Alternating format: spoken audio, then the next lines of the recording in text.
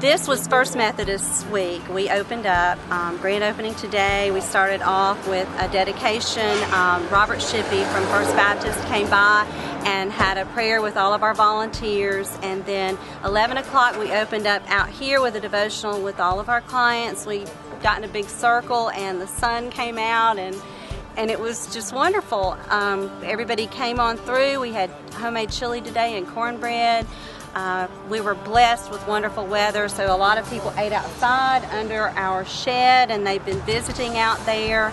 Uh, it overall everything has gone so so very smoothly for a first day opening, um, and we had goodness, at least probably 25 volunteers to show up this morning, and and a few not associated even with First Methodist, just wanting to come and help. And we're so grateful. We got uh, wonderful donations from Food Line and Sam's and um, the Atlanta Food Bank. First Methodist uh, has donated the money to purchase the food for this week, and uh, we're looking forward to next week. Our First Presbyterian friends will be here and then First Baptist will be here at the end of the month. Uh, it's we're, we're just really really pleased with with how the community has been so supportive of this ministry. well, I think the biggest thing is we just don't know what to expect as far as changes or number of people, but that that's always been the case.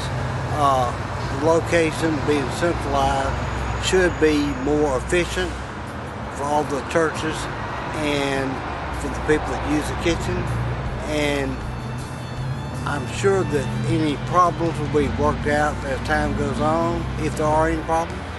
And this will be a permanent, uh, more efficient, more uh, accessible location than going to separate churches we've had at least right now, the last time I checked, we were over 100.